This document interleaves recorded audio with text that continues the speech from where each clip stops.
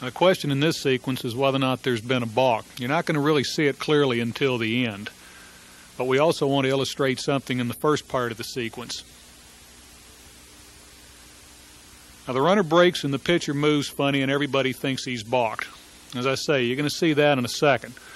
But notice what the umpires do here, which is a very good thing. They end up conferring, and we're always stressing that the ultimate thing is to try to get the play right. And here the first base umpire and the home plate umpire came together, talked about what they had, and decided that they didn't have a balk. Now, the replay is going to show them to be wrong, but the point I'm trying to make is that they did confer and they did try to get the play right, and that's exactly what we're trying to get umpires to do.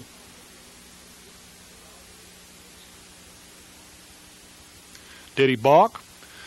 Now, the rule says that the pitcher can bring his arm up as long as he doesn't make any other motion associated with, with his delivery, and there's no balk. But in that sequence, his free foot stepped back, and that's what made it a balk. And by the way, do you think the pitcher thinks he balked? Gulp.